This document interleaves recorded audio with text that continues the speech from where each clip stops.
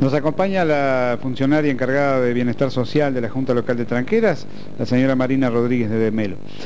Eh, Marina, ¿cómo están las cosas? Sabemos que en los últimos días ha habido una importante reunión con damas, eh, va a empezar una campaña eh, interesante aparentemente. Nos gustaría que tú lo contaras a los televidentes. Bueno, sí, realmente ayer tuvimos una reunión muy fructífera.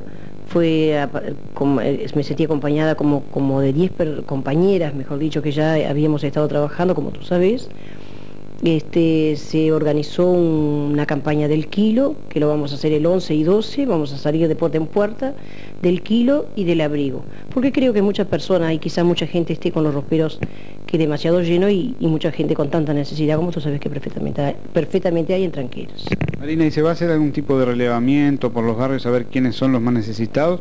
o previamente o se va a salir directamente a repartir después lo obtenido? No, nosotros ya sabemos como, como somos ya de tranqueras, sabemos los, barrios que realmente son carentes. Otra actividad que tiene que ver con bienestar social y es el club de niños que gira en esta órbita, se había formado una comisión que comenzó trabajando y lo, lo, difundimos ampliamente en el canal y a través de otros medios de prensa. Actualmente las obras en el local cedido estarían paralizadas. Eh, ¿Tú cómo ves eso? ¿A qué se debe? ¿Qué le puedes informar a la población? Bueno, lo que puedo informar que, que estén perfectamente, que estén lo más tranquilo posible porque hace un ratito estuve hablando con María Rosa Soto, la, obra va a continuar, se va a seguir haciendo, los papeles están ya este, en Montevideo, hay un núcleo grande de socios, este, mañana a las 6 de la tarde nos vamos a reunir nuevamente. Se va a cambiar el nombre del club porque la presidenta de, de Vila Xavier no quiere que lleve el nombre de don Armando Xavier. No va a haber ningún tipo de problema.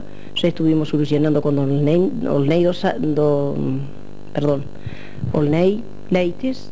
Este, y está funcionando, y la obra va a funcionar y la obra, si Dios quiere, la vamos a fundar muy pronto. Eh, bienestar social eh, también tiene que ver eh, con la obra del merendero que se inauguró el otro día por una sesión de local de Doña Lila.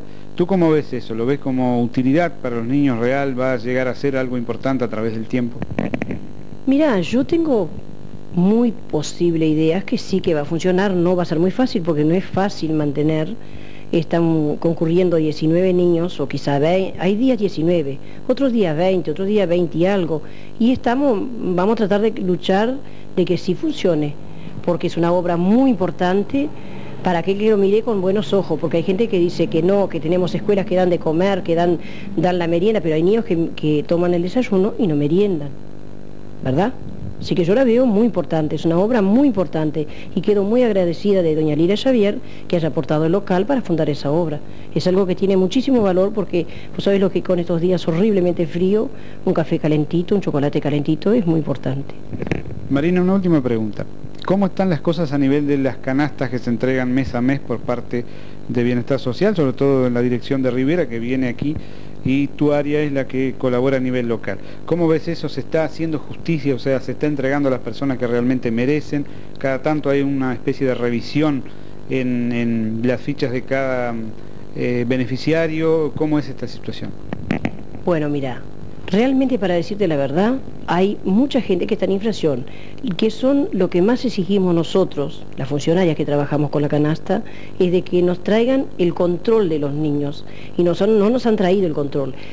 En la policlínica le dan una ficha y esa ficha no nos sirve de nada porque no nos sirve de base para saber. El niño le pertenece a la canasta hasta los 5 años y 11 meses y nos han traído muchísimo carné adulterados este, nos han traído esa, fichita. Y nosotros lo que exigimos con él y la encargada, que tú sabes perfectamente, la señora este, Nelly Navarro, que es la encargada de depósito de INDA, este, exige la ficha exacta donde está el control, peso, edad del niño y es la policlínica la que tiene que aportar, porque sabemos que han donado miles y miles de carné de Bayer y esos carnés no han aparecido. ¿El motivo por qué? No sé. Hay gente que tiene, hay gente que no tiene, aparece nada más que con la ficha.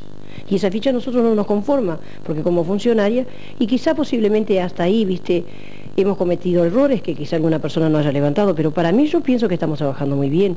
La última canasta, como fue sencilla, fue muy tranquila, la gente se está adaptando a hacer una fila sola, Y es un poco difícil trabajar con la gente en la canasta, es muy difícil, y conformarla mucho menos.